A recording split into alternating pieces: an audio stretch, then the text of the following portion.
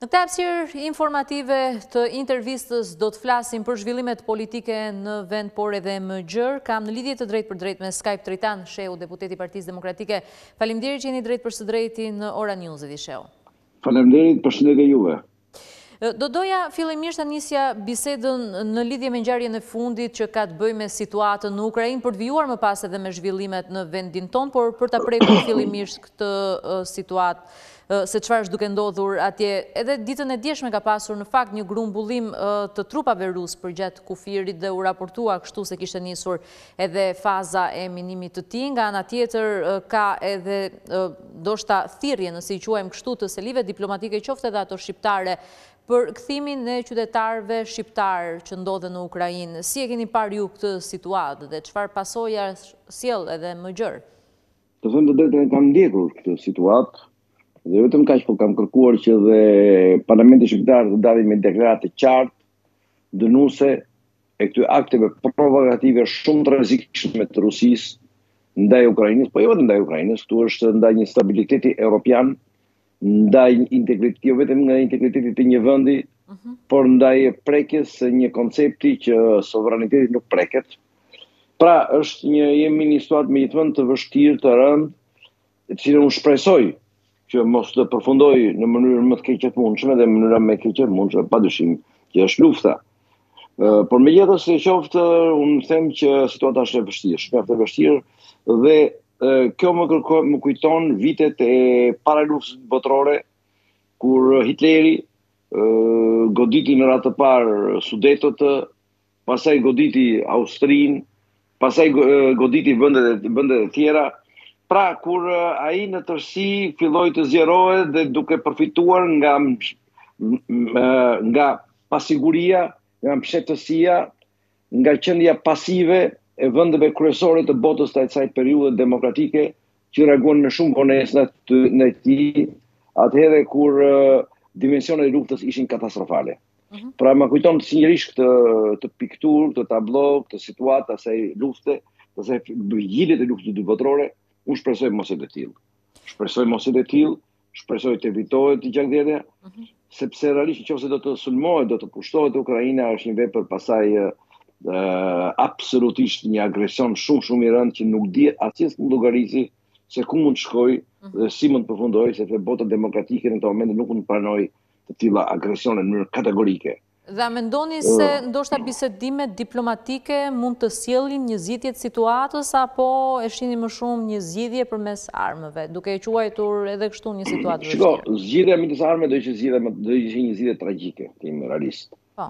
Ë, do ishte një zgjidhje e pallogaritshme dhe e paparashikueshme në dimensionet që do marrë, do jetë një zgjidhje krejtësisht antidemokratike, antinjerëzore, antihumane, në çdo koncept të themi, një do ishte një zgjidhje fillimi një sumë do ishte një zgjidhje alla Hitler, mhm. alla nazizëm, e cila unë shpresoj që të evitohet dhe padyshim që bisedimet diplomatike, dialogu është shumë i rëndësishëm në këtë rast, por mbi të gjitha mendoj se e rëndësishme në këtë rast është që Rusisë duhet t'i tregohet vendosmëria e qartë, e plotë, e NATO-s, e botës demokratike, botës perëndimore për të mos lejuar me çdo çmim një agresion mbi një vend sovran si Ukraina, absolutisht.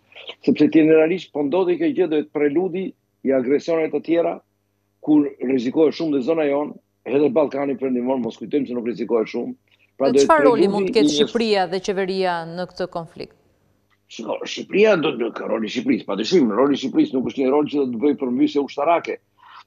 Roli, Shqipëria është anëtare e NATO-s, dhe ky është elementi më pozitiv dhe më i suksesshëm arritja më e madhe që ka arritur Shqipëria në këto 31 vite, 30 vite demokraci, duhet të jemi shumë të qartë në këtë gjë. Mhm. Shqipëria duhet të bëjë rolin e saj, duke, është e rreshtuar në NATO qartësisht, apo jo, padyshim, ka mbajtur disa deklarata, ka bërë disa deklarata brenda NATO-s, por unë mendoj se duhet të jetë më aktive. Duhet të jetë më aktive duke involvuar dhe institucionet e rëndësishme të saj siç është Kuvendi, në deklarimet e qarta, dënuese të çdo forme agresioni që mund të jetë dhe në, në thirrje për paqe, stabilitet dhe për të respektuar sovranitetin e çdo vendi, që në këtë rast sovra, Ukraina është një vend sovran. Mm -hmm. Në anën tjetër unë mendoj se Shqipëria duhet të kuptojë qartësisht dhe duhet të rishikojë politikat e saj në Ballkan, në rajonin tonë. Po. Duhet të shikojë aleancat, duhet të kuptojë qartësisht se aleancat strategjike të Shqipërisë janë ato që vetëm ato që lidhen me vendet perëndimore, me vendet anëtare të Bashkimit Evropian, me pra me me me, me botën perëndimore, nuk mund të ketë aleanca strategjike, mund të ketë partneritete absolutisht, të, mhm. mund të ketë marrëdhënie normale shtetërore dhe duhet të ketë, por partneritete strategjike duhet të jenë të drejtuara me botën perëndimore me edhe me edhe me vendet perëndimore. Pra këtu unë mendoj se ka, është momenti që Shqipëria duhet të dalë nga qerthulli i disa projekteve të rrezikshme e saj që është Ballkani i Hapur, mhm. i cili synon që nëpërmjet Ballkanit të Hapur dhe Serbisë, anëtare e Unionit Euroazian të Rusisë e të Moskës, na degdisin e na devijojnë nga rruga lindore dhe rrugës perëndimore duke hapur oreks kështu në në segmentin Moskë Beograd. Po. Pra unë mendoj se Shqipëria duhet të jetë shumë e qartë në këtë pozicion të saj, Mhm. dhe absolutisht jo duhet të jetë bashkë duhet të luajë një rol normal në me me vende të tjera, por ama asnjëherë pa kaluar një cak në këto marrëdhënie dhe pa treguar asnjëherë një lidhje preferenciale me botën lindore ndaj botës perëndimore. Po sa i përket kontributeve për rast të një ndërhyrje ushtarake, i ka apo jo kapacitetet Shqipëria? Shqipëria duhet të duhet të vërë në dispozicion absolutisht duhet të vërë të NATO-s Sa jemi anëtar i saj, kemi detyrimet tona, ato kapacitete po. që ka. Dhe sa e gatshme është NATO, meqenëse jemi duke folur edhe për NATO në këtë rast, sa e gatshme është NATO për një përplasje ushtarake me Rusinë? Shiko, përplasje ushtarake askush nuk e do. Unë them duhet prevenuar përplasja ushtarake. Dhe pre, prevenimi i përplasjes ushtarake bëhet duke treguar vendosmëri dhe qartësi tashmë tashmë pa filluar agresioni ndaj po. një agresioni të mundshëm.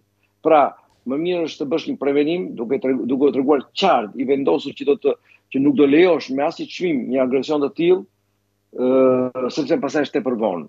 Është ajo unë nuk thashë kot, është situata që ishte para luftës së dytë botërore, kur e, Franca, Anglia, edhe Shtetet e Bashkuara të Amerikës në atë periudhë, por kryesisht Franca me Anglinë, i lejuan rrugë të lirë Hitlerit të shkonte të kalonte të merrte Sudetët, të merrte Austrinë, të merrte Poloninë, bashkë me bashkimin sovjetik pra ishte në marrëveshje u bë edhe kjo lidhje, pa iu kundërvënë këtij agresioni, duke menduar se kështu do ta kundër do ta kufizonin agresionin hitlerian, por nuk u bë kështu absolutisht përkundrazi. Ai u, u, u, u ndie më i fortë, mori resurse më shumë dhe sulmoi pastaj botën mbarë. Mhm. Pra, në këtë rast unë mendoj se mënyra më e mirë për të prevenuar është vendosmëria dhe demonstrimi i qartë i vendosmërisë për të reaguar ashpërsisht në qoftë se preket sovraniteti i një vëndi sovran në Europë. Kjo është shumë e rëndësishme të kuptohet qartë. Po. Dhe këtu unë mendoj që vë bota perëndimore duhet të jetë shumë e qartë, shumë aktive, shumë dinamike, mhm. dhe në radhë të parë NATO-ja, në radhë Shtetet e Bashkuara të Amerikës, absolutisht, që është vendi më i fuqishëm demokratik në botë, sepse duket se nuk pati të themi nga biseda e presidentit Biden me presidentin Putin, nuk pati le ta quaj një marrëveshje mes palëve. Absolutisht, unë nga sa kuptova unë, tash nuk e di ç'ka ndodhur në tërësi, por nga sa ato që u than, duket që nuk pati një marrëveshje të tillë. Ë dhe prandaj kjo e bën dhe më të rrezikshme situatën, mhm. absolutisht e bën më të rrezikshme situatën, sepse uh, jemi në një moment që ka të ngjarë, unë shpresoj që jo realisht, që Rusia të marrë revansh. Dhe mhm. ndoshta kjo lidhet dhe me element të që Rusia gjykon në këto momente që Shtetet e Bashkuara të Amerikës të dobët, të dobëta, NATO është i dobët, në bazë të asaj që ndodhi në Afganistan, në bazë të asaj braktisjes së turpshme që iu bë Afganistanit në atë mënyrë, duke lënë në mëshirë të fatit popullin afganistanez ah. dhe duke hedhur në erë gjithë investimet dhe gjithë përpjekjet e shumë shumë vite që kishin bërë, ndoshta ka marrë zemër nga kjo gjë. Pra ne duhet një qëndrim, unë mendoj, i vendosur i bllokut perëndimor i NATO-s për ta t'ia bërë të qartë Rusisë me të gjitha mjetet që shiko se në qoftë se do të agresosh Ukrainën, kjo situatë do të jetë një situatë pastaj ë mm. përgjigja do të jetë e plotë për të mos lejuar pushtimin e një vendi sovran. Dhe për t'iu rikthyer situatës politike në vend zoti Shehu, ku në luftën tuaj me Lulzim Bashën, pra komiteti le ta quajmë Komisioni i Rithemelimit të Partisë Demokratike dhe Partia Demokratike që drejtohet kështu nga Lulzim Basha është futur ditët e fundit një element i ri ku prokurorët belgë po hetojnë për çështjen e pastrimit të miliona eurove në Shqipëri dhe ku i përfshirë kështu në këto hetime është edhe Zoti Basha, lidhur edhe me deklaratat e tij nga foltorja e Kuvendit të Shqipërisë me rastin e Toyota Yaris. Në fakt Zoti Berisha ka folur edhe ditën e djeshme nga Rrogozhina për një arrestim të mundshëm të Zotit Basha. Sa gjasa ka të ndodhë një gjë e tillë dhe çfarë do të thotë edhe për politikën shqiptare për ta argumentuar situatën kur flasim së pari së pari po së pari duhet të jemi të qartë nuk ka ndonjë kryetar Basha ka një deputet Basha ka një parti demokratike që drejtohet nga komisioni i rithemelimit që po është në momentin e ristrukturimit të saj në të gjithë hapësirën e vendit dhe gjithashtu është në momentin e një fushate elektorale që ka ndërmarrë në mhm. që ka ndërmarrë tashmë në gjashtë bashkitë, të cilat janë në një proces zgjedhor. Pra kjo është e vërteta. Ëh dhe nuk absolutisht nuk duhet t'i veshim dikujt petk apo funksione që nuk i ka dhe apo që i ka pasur dhe është shkarkuar nga ato, siç është zoti Basha i shkarkuar nga funksionet e kryetarit. Mhm. Pra në këtë prizëm unë mendoj se duhet të jemi të qartë dhe të shikojmë qartësisht se në, në këtë betejë që kemi elektorale, kemi dy blloqe. Një është blloku opozitar, ku është Partia Demokratike, e cila drejtohet nga Komisioni i Rithemelimit, Partia Demokratike e dalë nga Kuvendi Kombëtar i datës 11, nga referendumi i datës 11, dhe nga ana tjetër pastaj është pjesa e pushtetit, është pjesa e regjimit e cila ka ka ka kandidatët e saj dhe në krah ka nga një patericë që i është vënë nga disa të ashtuquajtur demokratë, nga zoti Basha e të tjerë, që për ta shpëtuar nga nga nga humbja, nga disfata që janë. Pra, unë mendoj se në këtë betejë që është kandidatët që ka vënë zoti Basha janë janë paterica të regjimit dhe janë vënë vetëm me një qëllim nuk e di a nuk janë vënë për të fituar. Dihet që nuk fitojnë. Është e qartë që nuk fitojnë. Janë vënë vetëm për të bërë për të për të mbrojtur regjimin nga humbja në mënyrë duke devijuar një numër votash, të cilat mendojnë se do shpëtojnë regjimin. Pra kjo është e vërteta. Në lidhje me elementë të tjerë që ju thatë, në lidhje me elementë të tjerë, probleme të tjera janë probleme që ne dimë, janë probleme që ekzistojnë prej kohësh, janë probleme të cilat duhen do të duhet të zgjidhen me transparencë në bazë ligjeve që janë në fuqi, qoftë në Shqipëri, qoftë në Belgjikë, qoftë kudo që janë këto ligje, për të zgjidhur të për të dalë se është një çështje drejtësisë dhe duhet prej dhe duhet të presim me qetësi përfundimin e këtij procesi nga që nga sa e pashë unë, nga sa kuptova unë të paktën nga ardhja e një numri të konsideruar prokurorësh dhe policësh gjyqësorë të Belgjikës në Tiranë, është një proces në vazhdim, nuk është mbyllur me kaq, nga sa kuptova. Okej, pastaj të shohim, të presim Mhm. Me qetësi, të që po nga ana tjetër, do të themi qartësisht, do të themi këtë gjë që në këtë moment vëmendja është hedhur pa dyshim në këto zgjedhje lokale ku Partia Demokratike me Komisionin e Rithemelimit që drejton është forca kryesore që po paraqitet në terren. Po, por çfarë do të thotë dhe për vetë politikën shqiptare dhe dosja belge, a kanë ndikuar në vendimin e zotit Basha dhe deputetëve që e mbështesin atë në bashkimin E votave me Partinë Socialiste për shtyrjen e vettingut, se do doja ta lidhja edhe me këtë pjesë. Duhet të dimë një gjë që atë natë, unë e thashë qartësisht që pati një bashkim votash, pati. Po, po a ka ndikuar kjo çështje? Pati një devijim, pa, ja një sekond do vij atje. Pati një devijim nga qëndrimet e mëparshme të zotit Basha si person vetë ndaj procesit të vettingut dhe ndaj reformës, kësaj reforme në drejtësi. Po. Pati qartësisht pati. Pa dhënë shpjegime, pa dhënë sqarime, pa sqaruar jo jo njeri, po opinionin publik shqiptar në tërësi, pati një veprim mund të thoja si pupac të një numri deputetësh që morën urdhër dhe për të votuar në këtë mënyrë dhe votuan në këtë mhm. mënyrë. Dhe mua më vjen keq për ta të ndërë, dhe unë e kuptova që ata ndiheshin keq atë që bënë dhe u bëj thirrje që të rivendosin personalitetin e tyre, dinjitetin e tyre dhe të veprojnë sikur sipas koshiencës tyre. Pati dhe një gjë më të shëmtuar që pa mbaruar debati parlamentar, Në mënyrë absurde, disa orë pa mbaruar debati parlamentar, u bë procesi i votimit. Dhe gjë nuk mund, gjë që tregoi qartësisht se uh, ai debat parlamentar ishte kot. Ishte inekzistent. Ishte thjesht një farsë. Mhm. Gjithçka ishte përgatitur përpara nga një marrëveshje që Basha Rama për atë ajsa profesion, aq sa ka Basha deputetë nga mbrapa, dhe Rama pa dyshim që ka të gjithë majorancën nga mbrapa. Pra ishte një marrëveshje përgatitur përpara, e bërë përpara dhe atje vetëm se u implementua dhe u votua nga ata që u votua në një moment që u bllokua krejtësisht dhe u zhvlerësua krejtësisht dhe u hodh poshtë i gjithë procesi i debatit parlamentar, pra i gjithë procesi që lidhet me dinjitetin e deputetit, me rolin individual të deputetit, me prestigjin e deputetit dhe me figurën e deputetit. Pra u shkel dinjiteti i deputetit sepse ishte një marrëveshje e qartësishme midis Ramës dhe Bashës për të ecur më tej dhe për të miratuar ato që Basha vetë që e ka anatemuar disa kohë më parë duke e quajtur uh, një komplot a diçka të mhm. diçka të tillë kundër drejtësisë shqiptare. Pra kjo është edhe ka rol këtu çështja e Toyota Yaris-it. Po. Ka rol elementë të tjerë.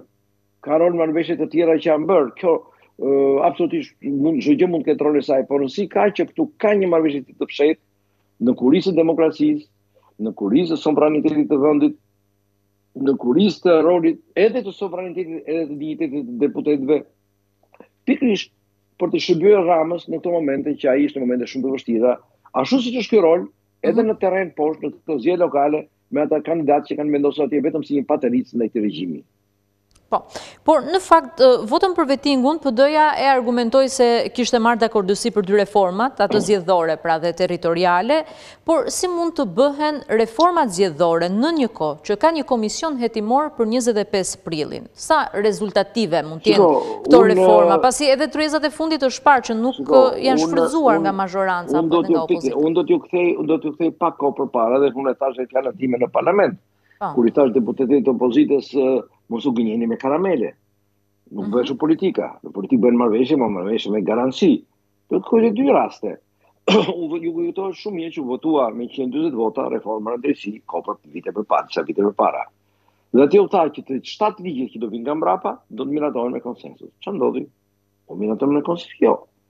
Maxhoranca i shkeli vetëm një nga ata ligje u miratua me konsensus, të tjerët u miratuan siç deshte maxhoranca duke bërë krejt të njëanshme çalamane dhe absolutisht dipendente nga maxhoranca të gjithë reformën në drejtësi. Së dyti, ju patë që disa kohë përpara, para zgjedhjeve, u bë një tryezë partiake që u vendosën për reformën zgjedhore. U firmosën dokumentat, u firmosën Ça ndodhi pastaj? Kjo maxhorancë duke shfrytëzuar atë, atë parlament po pa sesh ku opozita i kishte lënë fushë krejt të lirë, zoti Basha i kishte lënë fushë krejt të lirë, maxhorancës regjimit duke u larguar nga parlamenti, ça bëri, ndryshoi kryesisht. Miratoi siç deshte, hoqi koalicionet, ho, pra shkatërroi procesin zgjedhor pa nisur procesi zgjedhor. Dhe tashti, ju mendoni se Këto dy komisione që u krijuan do të maxhoranca do respektojë me me gjenerozitet të gjitha parimet demokratike, të gjitha konsensuset do japi ndaj opozitës për të bërë reformën territoriale apo reformën zgjedhore. Unë them se është qesharake, qesharake të mendosh një të besosh një. Po ne jemi bindur që edhe zoti Basha vetë nuk e beson. E di shumë mirë këtë gjë. E di që prapë do përfundojë çdo gjë si me Premtimet për ligjet për reformën në drejtësi mbas mbas dhënies së votave për për ndryshimin e kushtetutës që u bënë atëherë, ashtu si u, u përfundoi dhe çështja e reformës zgjedhore mbas mbasi u firmos marrëveshja në ta, në tavolinën partiake. Ai e di shumë mirë, po siç duket këtu është dhe thelbi thelbi dhe themeli. Këtu është këtu është problemi. Është pikërisht marrëveshja Rama Basha që vazhdon të funksionojë. Marrëveshje që mori një një një një një pamje shumë të qartë ato para di, di, javën e kaluar kur votuan zgjedhja zgjatja e procesit veting në mënyrën si u votua pa asnjë objeksion, pa asnjë analizë, pa asnjë uh, propozim tjetër, mm -hmm. pa asnjë alternativë tjetër, Pa asnjë thellim për problemet që kanë qenë tashti, edhe pa kam edhe edhe edhe pa ndryshuar as njerëzit që kanë marrë pjesë në procesin e vetingut, ku për ta ka vërejtje nga më të mëdhajat, kritika nga më të mëdhajat dhe nuk u kërkua të për, të, të përmirësohet as përbërja njerëzore e atyre që bëjnë vetingun në këtë gjë. Pra u bë thjesht për mua ishte thjesht një shiko, ishte thjesht një, një dorëzim total pa kushte i Bashës para Ramës përsëri ishte. Dorëzim total pa kushte i Bashës mhm. para Ramës ishte përsëri ajo që ndodhi. Zoti Shehu, shkurtimisht, përpara se ta mbyllim bisedën së bashku, gara e 6 marsit më shumë se zgjedhje lokale duken si referendum edhe për të djathtën. Çfarë pritet të ndodhë më 7 mars? Pra një ditë më 7 mars, le ta konsiderojmë kështu, por pas zgjedhjeve më po, mirë. Unë mendoj që Partia Demokratike do marrë rezultatin më të mirë në këto vitet e fundit që ka pas në të gjitha proceset zgjedhore. Ëh. Mhm. Sepse ka një ringjallje, ka një ringjallje. Foltorja, kuvendi i datës 11, gjithçka që po ndodh, ka filluar të ngjalli shpresën te njerëzit, ka filluar të ngjalli besimin te njerëzit. Ka filluar t'i bëjë njerëzit të besojnë se gjërat mund të ndryshojnë, nuk do të jenë shumë vazhdimisht kënetë apo rrokopujë duke shkuar poshtë në humnerë. Pra, unë mendoj se do jetë shumë i favorshëm për Partinë Demokratike të jemi të qartë, si gjë dhe ata gjashtë kandidatët tanë që kemi paraqitur do të dalin mjaft mirë në këto në këto zgjedhje. Ëh. Mhm. Ça do ndodhi më tej, pa dyshim kjo do ndodhë, do të influencojë në forcimin e mëtejshëm të kësaj rruge opozitare që ka ndërmarrë Partia Demokratike prej disa muajsh. Do të shërbejë akoma më shumë në zgjerimin e bazës tonë sociale dhe të mbështetjes, do të shërbejë pa dyshim në një përballje akoma më të ashpër, akoma më të fortë, më të gjerë në të gjithë territorin e vendit me regjimin. Uh mhm. -huh. Dhe pa dyshim pastaj për çuar në përmbysjen e regjimit dhe në ndryshimin që do të ketë Shqipëria, apo dhe kjo me botë në dirë ma zi tjetër. Zoti Shehu, ju falenderoj që ishit drejtpërsëdrejti në këtë bisedë së bashku në Ora News. Unë ju falenderoj juve, mirupafshim. Mirë, të nderuar teleshikues, me këto zhvillime përfundojmë këtë hapësirë informative. Faleminderit që na ndoqët, bashkë mirutakofshim.